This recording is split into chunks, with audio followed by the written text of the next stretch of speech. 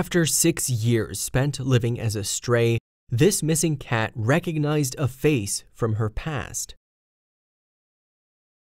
But before we start, please take a moment to give this video a like, subscribe to Happy World, and hit the bell so you'll never miss these great stories.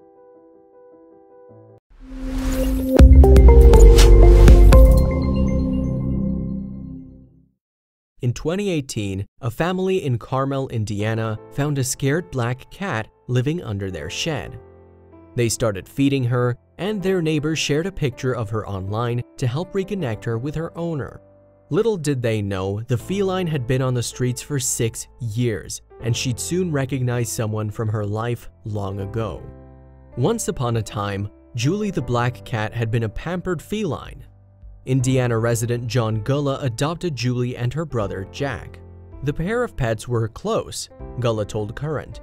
They used to cuddle, he recalled. They were two peas in a pod. But in 2012, the feline siblings would be unexpectedly separated. Early that year, Julie was at Gullah's mother's home in Carmel, Indiana, while Gullah was at college.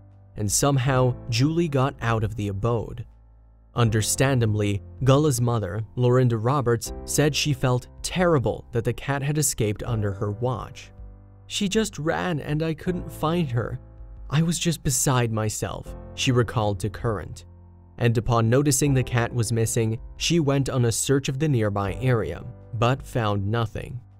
Roberts and her son hung flyers throughout the neighborhood, but they never heard anything about Julie's whereabouts. Nonetheless, Roberts continued to look for the cat. But then she received some scary news about her son's health.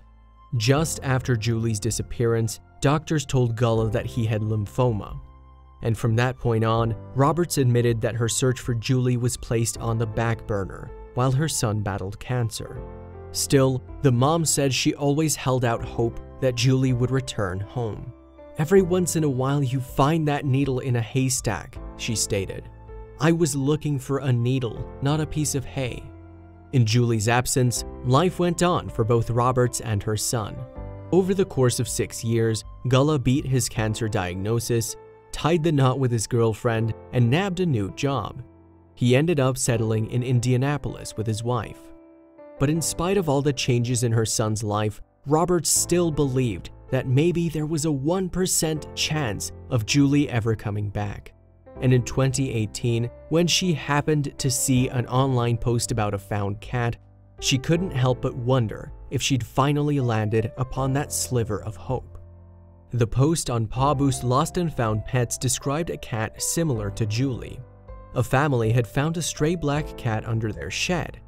They said the feline was an older adult and that it appeared nervous.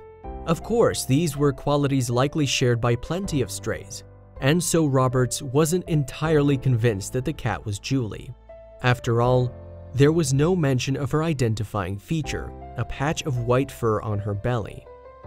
Nonetheless, her son went to the family's home in Carmel just in case. As Roberts recalled, he went and saw her and saw the little spot on her belly. Then, the cat moved towards Gullah. Although the family reported that the stray cat was too skittish to come near them, Roberts said she went right to Gullah. She started purring. And that was the start of what became an amazing reunion. The woman who had originally posted about the found cat, Christine McKeon, was taken aback by the touching reunion. Gullah called her name and she came out and she came right to him, she said. According to McKeon, Julie wasn't that friendly to anyone in the time she lived under the shed. And although she was a stray when he found her, Gullah later revealed that it seemed as though someone had taken in the cat, at least for some time. Someone must have taken care of her. Her fur was soft. There's a problem with her tail, but it doesn't look like she's banged up or anything, Gullah said. And in Indiana's cold winter climate, that care could very well have saved Julie's life. I'm wondering about what angel cared for her at some point, because we've had some rough winters, Gullah said. Fortunately, it would be him who would care for her from then on. He took Julie home after finding her that day. The last thing to do was to reintroduce Julie to her feline brother Jack.